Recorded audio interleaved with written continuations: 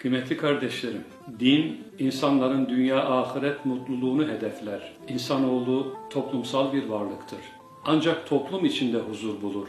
Çevreyle sağlıklı ilişkiler huzur sebebidir. Huzur çarşı pazarda satılmaz. Huzuru dışarıda değil, kendi iç dünyamızda aramalı. Huzur çoklukta değil, berekettedir. Helal ve temiz kazanç huzur sebebidir. Sabır, metanet huzuru çağırır. Dertler geçici ve imtihanın parçasıdır. Günah yüklerinden kurtulmak ruhu ferahlatır. İman emniyetin teminatıdır. Emniyet içinde olanlar huzurludurlar. Doğruluk, çalışmak, iyilik, mutluluk formülüdür. Mutluluk aranarak bulunmaz, inşa edilir. Kalpler ancak Allah'ı anmakla huzur bulur. Huzur İslam'dadır.